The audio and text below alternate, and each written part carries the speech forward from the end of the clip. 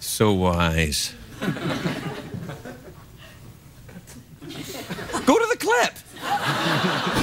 Now it's time for celebrity book readings. Tonight, Michael Ian Black reads from his book, You're Not Doing It Right. Thank you. Hello.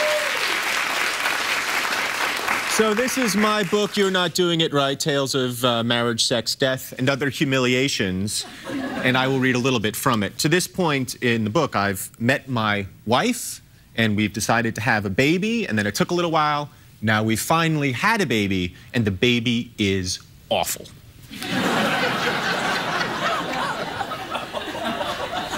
when the middle of the night comes, as it must, and his cries come, as they must, we lie in bed arguing over whose turn it is to get up with the baby. It is always the other person's turn. Your turn, we say to each other while he wails. Your turn. 10 or 20 minutes might go by like this, neither of us willing to move, the tension growing between us with each wailing exhalation. They say if you just let babies cry, they will eventually cry themselves out.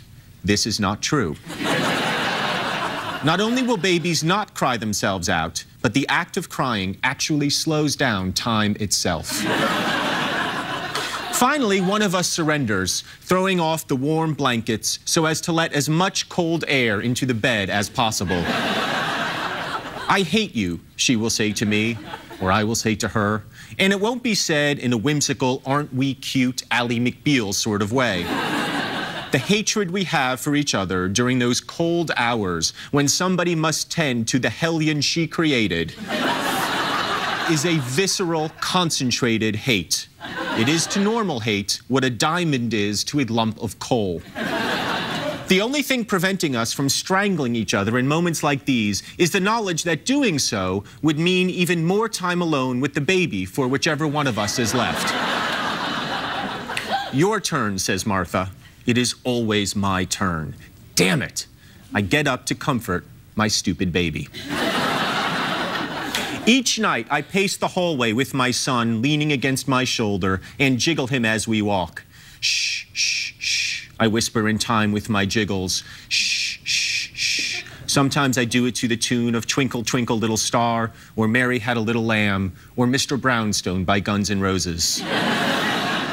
Constant movement helps. Constant movement and Martha's boobs, which are sore from overuse, her nipples tender and stretched out. They're starting to look like cocktail wieners.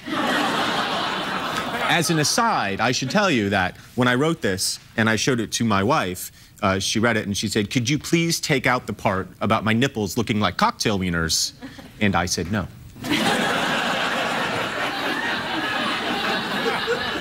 I go downstairs and turn on the TV.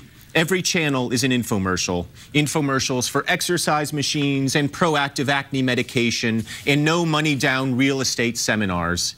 I used to think that the reason companies showed infomercials in the middle of the night was that that was the only time the companies could afford to buy airtime.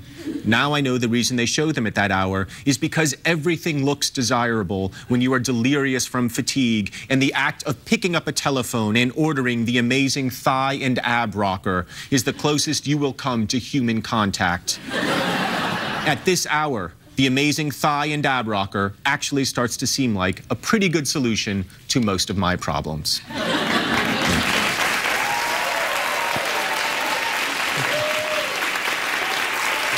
Thank you. Thank you. Thank you. Oh,